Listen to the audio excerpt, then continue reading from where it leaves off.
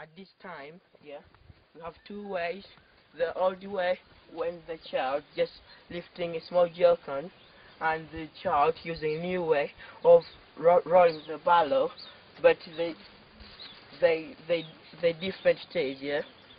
When you're lifting a jerkin, use some effort than the person who rolling the what the old barrel, but the different is the the person who runs the old barrel have got too much water more than the person who lifting, but you use some effort, but you get different different Um, you, so you get a lot more water uh, with the same get- effort. Yeah, with some effort like Yeah. that. Yeah, yeah. And is it?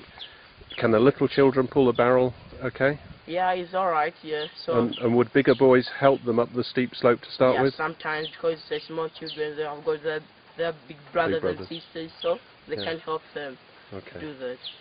Okay. So so far the system works quite well. Yeah, the systems work very well since I came here.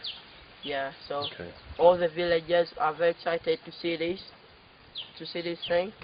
Just rolling, you don't use too much effort rather than put on the head. Yeah, it's like he, I don't know, it's really, really bad to do Mm. that. But it's better to have this one. So I think Africa is going to be a better place for the young children. Thanks, Julius. That was Julius Muyombaya from Maya.